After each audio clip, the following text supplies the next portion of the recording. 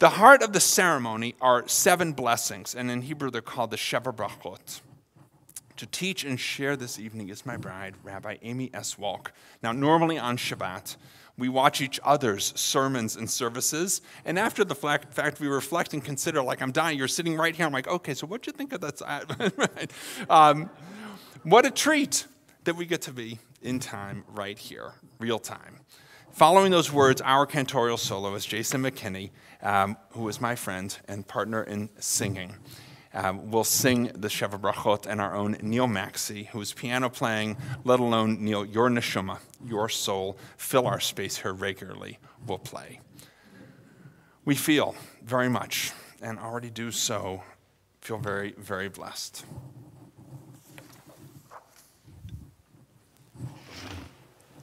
You're on. I am, I am.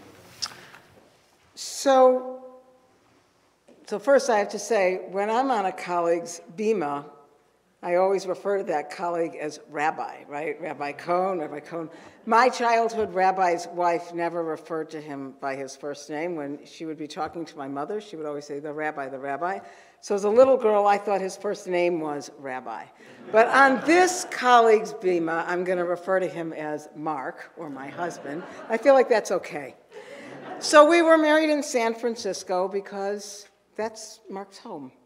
And it seemed most appropriate to me. My own parents are deceased, and so my attachments to my childhood home, Chicago, weren't, it wasn't compelling enough to have a wedding there when we could be in a place where Mark's mother lives, his siblings are there, and it just felt like the Menchie thing to do. So there we were in San Francisco, and the Sheva Brachot recited, and I decided I wanted to teach them this evening because at a wedding, you don't really study them.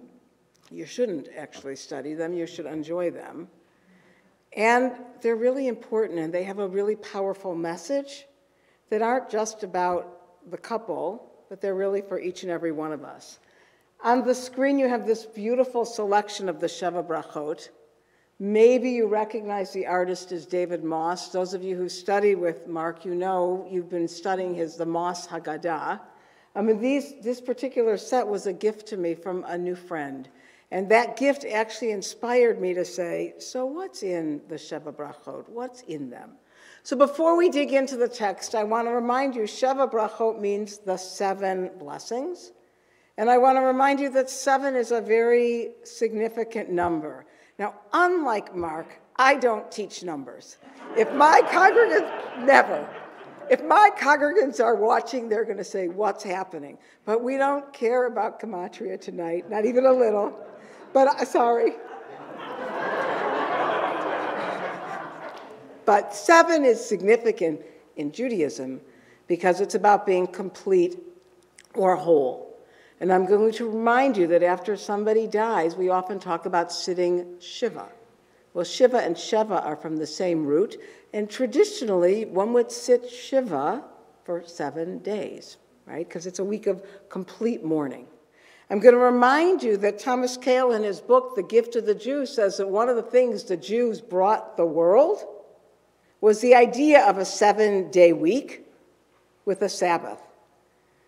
Sometimes I think, wouldn't it be nice if we had an eighth day? But then I know that it would just get filled up, so I'm going to stick with seven. And I, but this idea, seriously, that is so fundamental to how our world operates, that's ours. It's the number seven.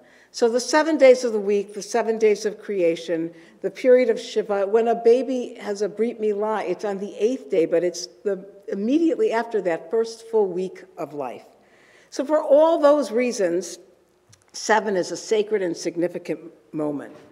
The truth is one of my favorite moments on our wedding day was the singing of the Sheva Brachot.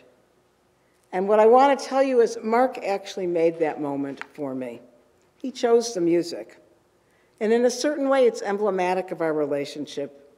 So many times, Mark takes something I know and I appreciate, and he just makes it better. He deepens it. He deepens my appreciation, or he offers another perspective. And this was a great example. I've never enjoyed the Sheva Brachot at a wedding the way I did at our wedding. And it's largely because of the music, which we'll experience in just a little bit. So, what might you expect? Imagine you're the author and you're writing seven blessings for a couple. Well, what would you put in those blessings? If you want to answer, you can, but I'm imagining a prayer for good health. You would want the couple to have mazel, a long life. You might make a prayer like, I hope they get along with the in laws. You might like, right? You might like, these days we'd say something like, we hope they both get jobs in the same community. For a younger couple, you might say, we hope they're blessed with many children, right? That would be the kind of thing. And what I want to say to you is, shockingly, that's not actually what's in our Sheva Brachot. Our Sheva Brachot that were written or composed about 2,000 years ago or so actually offer a very different perspective. And I'm going to tell you that I'm going to show you how they talk about the couple appreciating love. They talk about the couple going from two to one, and they talk about the couple's duty to their people, all in the context of serving God. So it's about love, two to one, and serving others. And what I want to do now is take you through that and show you those three themes. So the first three blessings begin, and we can go to the next slide. The first three blessings begin by, by saying to God, thanking God for creating the fruit on the vine, thanking God for creating everything for God's glory, and thanking God for creating humanity. That's kind of a context Thank you, God, for creating. And the, the Borei Pri Hagafen is its own thing. Another time we could talk about how it's used in Kiddush and how it's used in Havdalah, and that Borei Pri Hagafen finds itself. But for now, I'm just going to say the wedding ceremony is called Kiddushin. In a little while, I think we're going to be reciting Kiddush. It's the same root. It's what makes the moment sacred. And the truth is, the wedding ceremony is about a bride and a groom saying to one another, You're sacred to me. There's no one in the whole world who relates to me the way you do. So that's there. And then the other two blessings are about God created all things in glory and God created humanity. And it really gets interesting now when we get to the fourth blessing. So the fourth blessing says, Blessed are you, O Lord, our God, ruler of the universe, who made human beings in your image, after your likeness, and have enabled us with the potential for eternal continuity. Blessed are you, O Lord, creator of humanity. So, this fourth blessing starts by saying, You know, you are made in God's image. And in a certain way, there's a little bit of foreshadowing going on because what it's hinting at is you have potential. You are made in God's image, and so you have the ability to do, to flourish through time. You are created in God's image, and that means you, bride and groom, are able to do great things. And that's the fourth blessing. But let's look what happens when we get to the fifth blessing. The fifth blessing reads May she who was barren be exceedingly glad and exult when her children are gathered within her. So stop for a minute. We're at a wedding. Who's the she? Who's barren? Really?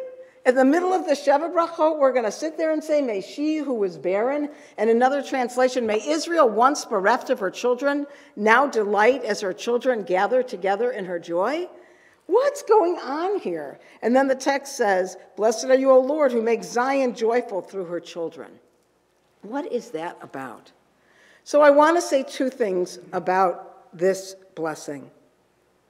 We do this in a moment of great joy that as you and I do this, we pause and we remember something that isn't right or something that's missing. And I'll give you an example. I'm going to explain it in an individual way, and then I'm going to talk about it for the community.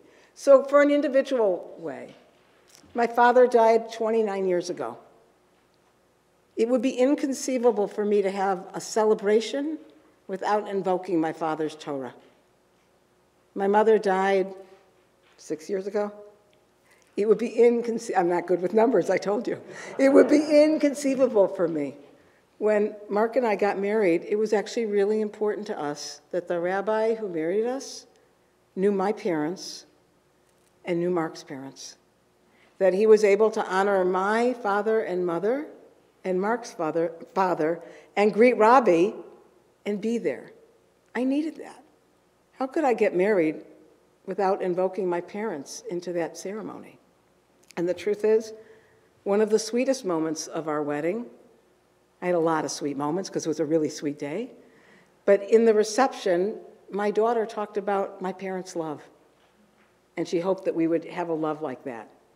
And I thought to myself, my dad's here, even though he couldn't be with us. He's here with us. And so that's this way that as individuals, and I'm imagining you've done the same thing at your simchas, where you've talked about parents or grandparents, because how do you sit there and be in a simcha without remembering the people who made it possible? So what does that have to do with may she who was barren? So the answer is just as we do that as individuals, the rabbis were doing that for us as a people. The rabbis were saying, wait, we're at a big celebration. In the midst of this celebration, we have to remember what has befallen our people. So, you and me in the year 2022, we don't do that with the destruction of the temple.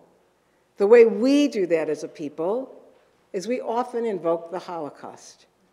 How many of you have used a Haggadah where there aren't four children, but there's five, and the fifth child is a child who perished, who wasn't even alive to ask a question? Right? How many times have we talked about taking a moment and we've remembered the Holocaust? So the rabbis, 2,000 years ago, for them, the catastrophe of the Holocaust, for them, the temple being destroyed was every bit as catastrophic. And so there they are composing blessings, and what are they doing? They're saying, we're under a chuppah, the bride and groom, they're happy, and they're saying, May she who was barren, like, may the city of Jerusalem, may Israel, once bereft of her children, now delight as her children gather together in her city. In a certain way, what's happening here is they're pushing the bride and groom. Think about Jerusalem. But remember, this is only the fifth blessing. I have two more to go. I want to pause for a moment and just say something to you about Jerusalem. Mark as and I, you heard, we met in Jerusalem. We were both called to Jerusalem in the summer of 2017. That is, our souls called us to Jerusalem. We were both in need of healing. We were both in need of light. We were both in need of Torah. We were both in need of regrouping. Mark didn't tell you that within the first 15 minutes that we met, I started to cry because I was in the period of shloshim for my oldest brother. And as we talked about who knows what, there I am looking for Kleenex, sobbing. In that moment in which we were needed healing and we were broken, my children like to say, we went to rabbi camp. yes, for both of us, that's what studying at the Shalom Hartman Institute is. It's rabbi camp. Jerusalem, the modern state of Israel, it nourishes us in a way that is simply indescribable. And that's another thing I love about Mark. He gets it. He gets me. He gets that I love Israel. He gets that I sometimes need to criticize Israel. He gets that I truly believe in my heart that each and every one of us is missing out by not living in our people's homeland. And yet, like me, he gets why I'm here, why I feel very, very fulfilled and grateful to be an American citizen. And so I don't have to explain this mishmash in my heart. The other thing I want to say to you about Jerusalem and our wedding is that the rabbi who officiated, Rabbi David Ellenson, gave the most incredible teaching about Psalm 122. And he spoke about our love of Israel and our being called to Jerusalem. And yes, that was another favorite moment of our wedding. As you can see, I have many. And I will tell you that Psalm 122 will never be the same. But now I want to take us back to the sixth bracha. So let's look at this one. Oh, make these beloved partners greatly rejoice just as once you gladdened the creatures in Eden, blessed are you, O Lord, who causes groom and bride to rejoice. And look at the language. We ask God to give the bride and the groom that joy which was known in the Garden of Eden, pure and simple. We ask that the bride and groom that become partners. And yet the bracha says, and it concludes, who causes the groom and the bride to rejoice. So, first of all, I want to just remind you that the Sheva Brachot don't take it for granted. The rabbis got it. Being in love and having a friend and a companion is hard work. And the Sheva Brachot are turning to God and saying, let them have it like in the Garden of Eden. Let it be that easy. But notice the blessing ends and says, Who causes groom and bride to rejoice. We're separate there, we're not together. I want to just say something about this in this context and the next. I want to contrast the Sheva Brachot with the Ketubah. Those of you who've ever looked at a ketubah, it's a pretty dry document, also written about 2,000 years ago. It spells out the financial obligations. The old ketubah, the ancient ketubah, the man acquired a woman and it was an economic obligation. And even the modern ketubah, the couple acquires one another and it more or less expresses their duties and obligations to one another. If you see ketubot that have lovey-dovey language in it, it's not a translation or close to the traditional. It's beautiful. Ours actually has very, very, very little English that you need a, micro, a, micro, a microscope to read or a magnifying glass.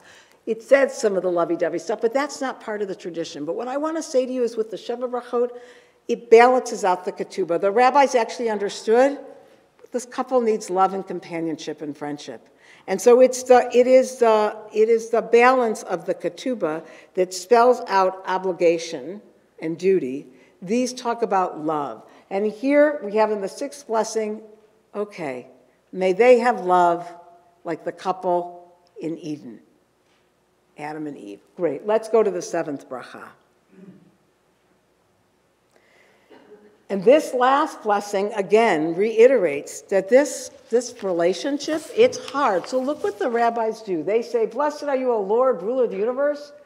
You made joy and gladness, groom and bride, mirth and exultation, pleasure and delight, love, brotherhood, peace, and fellowship. And in Hebrew, it's sason, simcha, chatan, kala, gila, rina, ditza, chedva, ahava, vishalom all these words to describe what we want for the couple happiness, contentment, love, companionship, peace, friendship, the bridegroom and the bride. That's what we want for them. And the blessing is going on and saying, huh, that's hard. But look what happens next. It's like, that should be the end. Isn't that what we want? But it goes on and it says, Soon may there be heard in the cities of the Judah. We're back to the destruction of the temple, folks. And it says, Soon may it be heard in the cities of Judah and in the streets of Jerusalem the joy, the voice of the groom and the bride, the jubilant voice of grooms from their canopies, and canopies, and of youths from their feast of song. So look what happens now. The rabbis don't just want us to be happy. It's almost as if the rabbis knew what a bridezilla, or as I like to call a groomzilla, are. The rabbis are turning to the bride and groom and saying, You think it's all about you, because you feel like it's all about you. It is not all about you. It is about you harnessing your energy and your love and spreading it. And it is about you remembering that this world needs your energy. So you may want to only focus on your love and your joy and your companionship. But that's not what it's about. It's about looking. And I want you to notice the rabbis do not talk about any old place that's broken. They say one day in the cities of Judah and in the streets of Jerusalem. Even tonight, Mark managed to put in a little something about the pull between the particular and the universal. I caught that at Shalom Rav when he said it's not just in the moment, this is about us. The truth is, the rabbis are turning to the couple and saying, you know what, couple, happy couple? It is not just about you. It is not just about your family. It is actually not just about your community, your little community. It's about the Jewish people and the pull of the land of Zion. Should be, you should be feeling the pull of the land of Zion. And so for me, that, that becomes a significant piece of this last blessing, which is it's not about the couple. It is, but it isn't. The, and the end, I want you to notice it says, Blessed are you, O Lord, who makes the groom rejoice with the bride. So if you were to look back, and uh, the, the other, the sixth blessing, it was, who causes groom and bride to rejoice. And you could sit there and say, well, what's the difference between and and with? And actually, a lot, right? It's the difference between two individuals. And when it says, turns to God and said, the groom rejoices with the bride, they become one. So, in a very different context, I was having a conversation with a, a, someone in my congregation, and she said, she said, Well, two is often stronger than one. She said, Imagine if you have one pencil and you try and break it, you can break it pretty easily. But if you have two pencils and they're together, it's actually harder to break it because they hold each other up, they give each other strength. It's a great metaphor, and I think that's the difference between lessons between blessing six and blessing seven. And yes, that's also where I want to say just one more thing about Mark. That business about the pull between the universal and the particular, that's another thing we share. We worry a lot about our people, and we feel duty bound to worry about the universal. And finding the right equation is hard. And he gets me when I feel like I need to recalibrate. And I hope I get him when he feels that he needs to recalibrate. And it's not something that a lot of people have the flexibility, they're not nimble enough necessarily, or nimble in our language to understand the struggle that we feel. But we feel it, and the truth is, as leaders in the American Jewish community, we better feel it. So the and and the with, one pencil, many pencils, the end of the bracha, the language is saying something very important about the bride and the groom, and the two individuals coming together, and they are one, and together they're stronger. This blessing has new meaning for me, and I understand what it means in ways I never did before I met Mark. Indeed, as Mark and I brought our lives together, we had so many questions to answer. Where would we live? Who would remain the pulpit rabbi? How would we create a life that would allow us to grow as individuals and as a couple? How would we make space for our five children? You all know Harley and Eitan. They grew up here. You should know I have three children of my own, Tamar, Gabriel, and Nina. They 28 to 20. And we love all five of them. And we want to make space for all five of them. But we don't want them living with us. But we want to make space. That's true.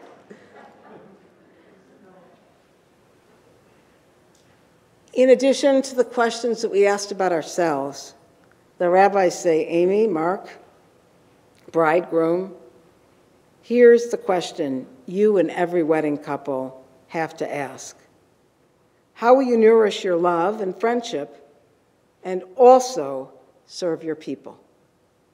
In these Sheva Brachot, that's what they're saying. How will you nourish your love and friendship and also serve your people? Truly, these are the questions we have to ask ourselves. How do we nourish our own souls while also remembering that our people in, are in need? How do we nourish our own souls while also fulfilling our obligations to our people in our local community, to our people throughout the world, and of course to our people in Israel? How do we ensure our own joy while also making time to ensure that our brothers and sisters, wherever they are, are able to celebrate and rejoice. I actually don't have the answers, but I know that if we ask these questions and we truly think about these important issues, we'll find our way and we'll find our way. And I do believe that this is the profound underlying message of the Sheva Brachot love. Celebrate it, nurture it. Two become one. And those two who become one serve their people. And that, after all, is what God wants of us and for us. God wants us to be happy and feel loved. In Genesis, God says it's not good for man to be alone. God wants us to experience intimacy, but God also wants us to look beyond ourselves and our experiences. May we each find joy and friendship May we celebrate many good times. And at the same time, may we commit ourselves to work for the day that Jews throughout the world can celebrate with a full heart, just as the bride and groom do on their wedding day, just as Mark and I were so fortunate to be able to do on our wedding day. Ken Yehi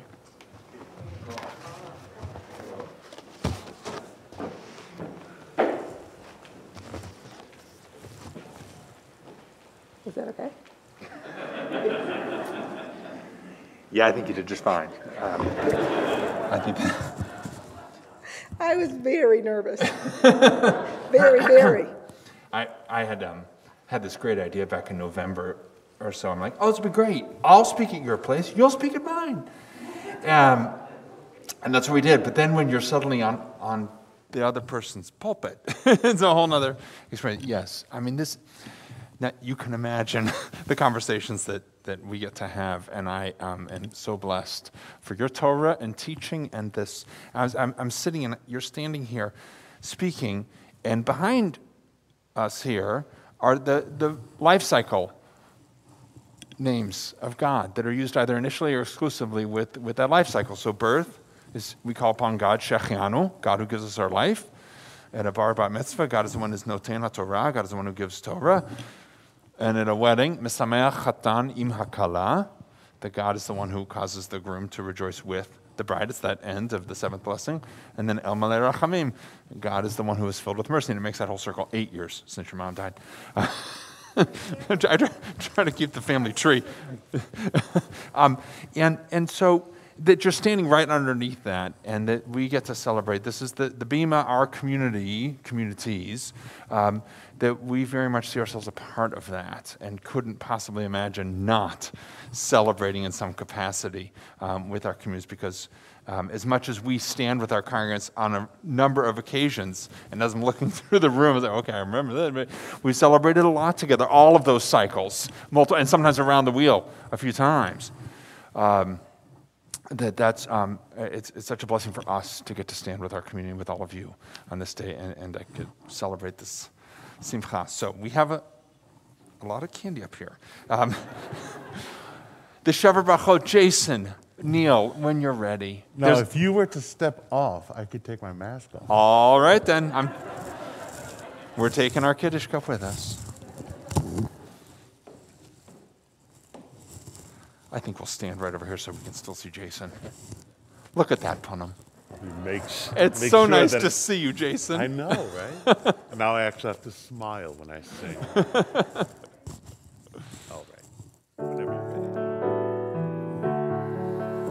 Baruch Adonai Eloheinu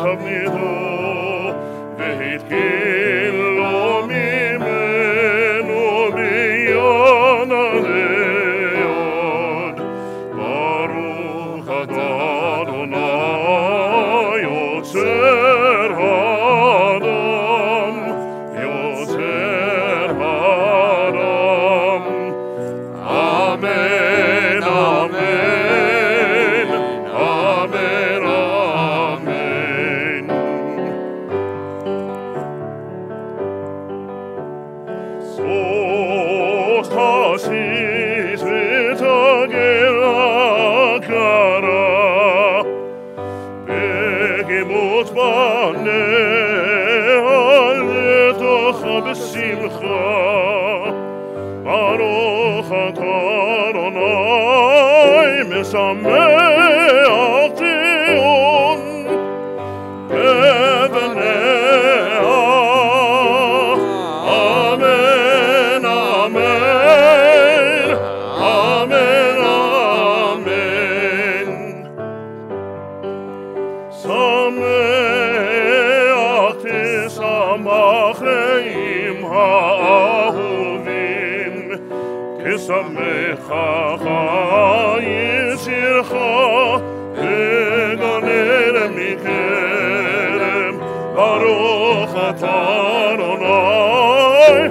samea hoto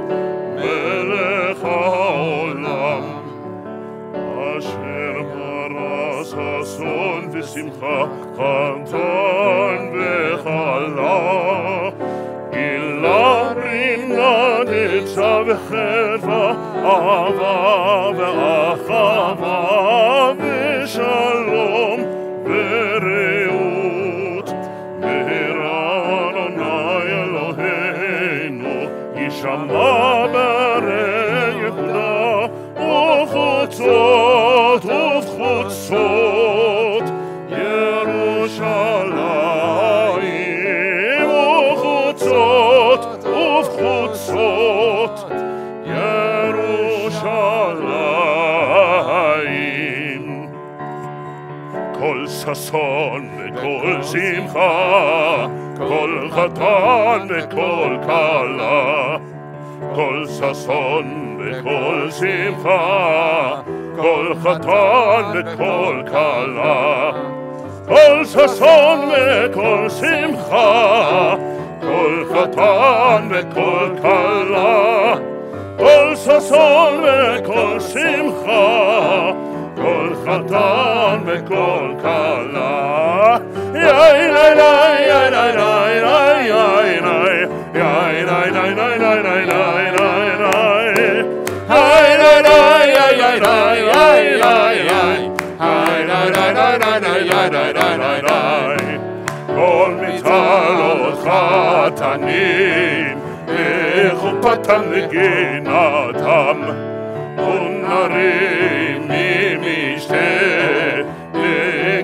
from the tam. Lai lai